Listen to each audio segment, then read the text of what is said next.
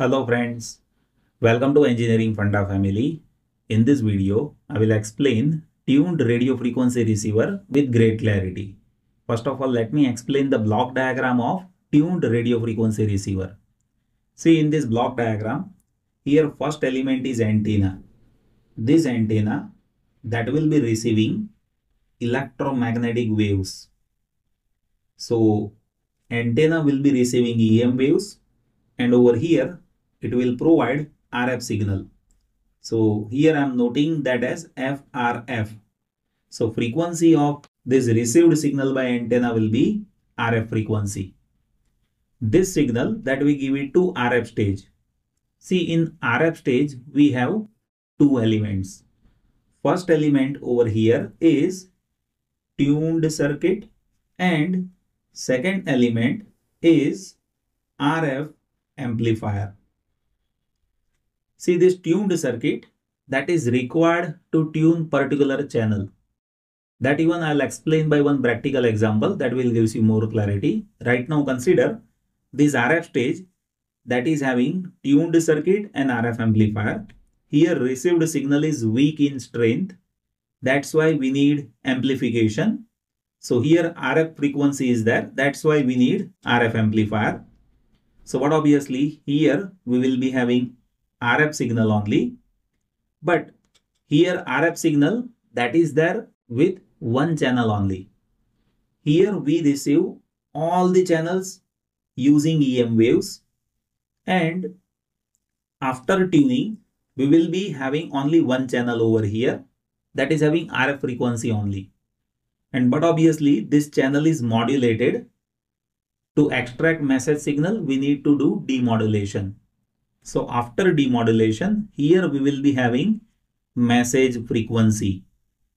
And that message signal that is weak in strength. So after audio amplifier, we will be giving it to loudspeaker. Here our application is based on voice communication. That's why I have placed loudspeaker over here. Now let me consider one practical application. So here I'll be considering application of AM broadcast. See in AM broadcast, we have frequency range from 550 kilohertz to 1650 kilohertz. So in this frequency range, there are so many channels. See this antenna that will be receiving all the channels, right? So all channels which is having frequency range from 550 kilohertz to 1650 kilohertz that is available over here. Now see in your radio what you will be doing? You will be listening only one channel at a time.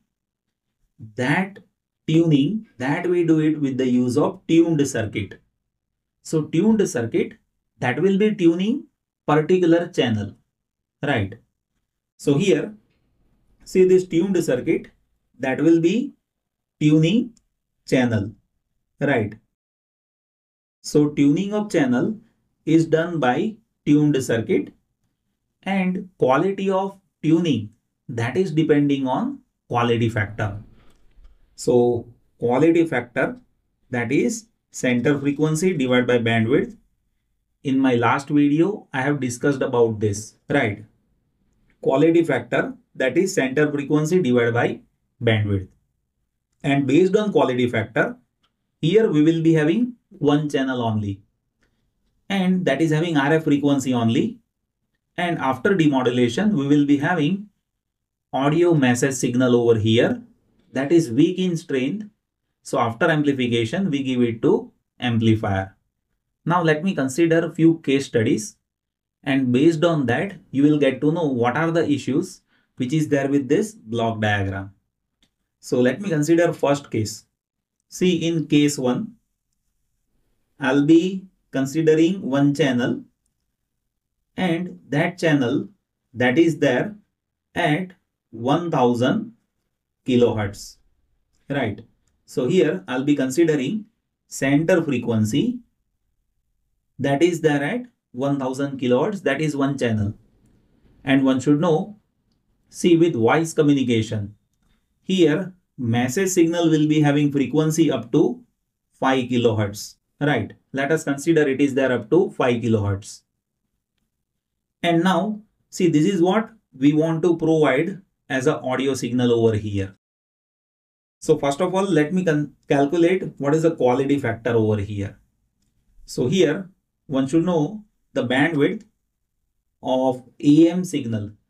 If you have amplitude modulation as per double sideband full carrier, then bandwidth will be 2 times of message signal frequency.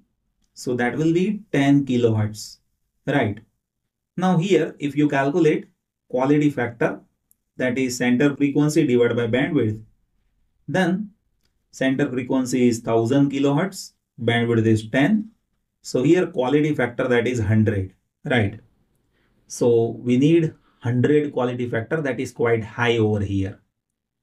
Still there is some issues. If you have quality factor that is about 100, then also this receiver is having issues.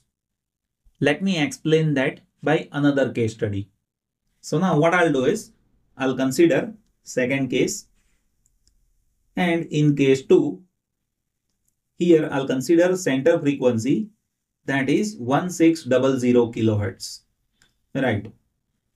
And here with this center frequency if you have this quality factor right that we have decided based on channel number 1 that is there at 1000 kilohertz. So if you have quality factor that is 100 that is quite high. But if you have this circuit still there will be issue. Let me discuss about this see here as I have told you quality factor that is center frequency divided by bandwidth. So bandwidth will be center frequency divided by quality factor. So here center frequency is 1600 kilohertz divided by quality factor that is 100. So bandwidth is 16 kilohertz. So here with this channel received bandwidth is 16 kilohertz. But practically when you talk about message signal as per audio, at a time bandwidth that has to be 10 kilohertz. But with this higher frequency, bandwidth is increasing, right? So one conclusion that you can draw is at higher frequencies, bandwidth is increasing, right? Bandwidth is increasing. And as bandwidth is increasing, there is a possibility that there will be adjacent channel interference. So due to this, there will be adjacent channel interference. Let me explain how there is adjacent channel interference. So here, see, we have multiple channels, right? And as per message signal of audio, bandwidth of particular channel, that should be up to 10 kilohertz only so let us consider here, this is channel number 2 that is there as per 1600 kilohertz, right? So this channel that is there at 1600 kilohertz. And as per this circuit, as per this circuit which is having 100 quality factor, here bandwidth that is 16 kilohertz so practically whenever you are receiving it at that time, it won't be 10 kilohertz over here. It will go up to 16 kilohertz. So this is 10 kilohertz. So 16 kilohertz that will be having additional bandwidth, right? So 16 kilohertz that is somewhat this much, right? And as we have higher bandwidth over here, what is happening you see? This portion of the signal that is there with this channel and this portion of the signal that is there with this channel that is getting received over here with this tuned circuit. So there is adjacent channel interference due to quality factor that is fixed, right? If you have 100 quality factor, that is good. 100 quality factor of tuned circuit, that is quite good. But still at higher frequencies, there is a possibility that there is adjacent channel interference and that is happening due to higher bandwidth at higher frequencies right? So you can observe there should be 10 kilohertz of bandwidth with these adjacent channels but at high frequency here bandwidth is more with this tuned circuit right? Due to which it will be extracting this information as well as this information.